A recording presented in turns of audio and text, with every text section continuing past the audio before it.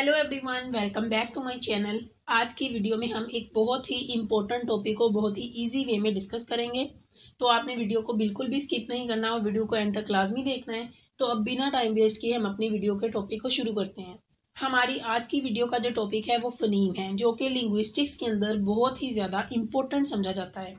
तो अगर हम इसके मीनिंग की बात करें तो फ़नीम का जो वर्ड है, वो फ़ोन से निकला है, जिसका मतलब होता है sound there are total forty four sounds in English language अब इन साउंड्स को हम फनीम्स भी कह सकते हैं या साउंड्स भी कह सकते हैं। जैसा कि हमें पता है कि इंग्लिश के अंदर टोटल ट्वेंटी सिक्स अल्फ़ाबेट्स हैं तो उनसे साउंड्स कितनी बनती हैं? फोर्टी फोर साउंड्स बनती हैं या फोर्टी फोर फनीम्स बनते हैं।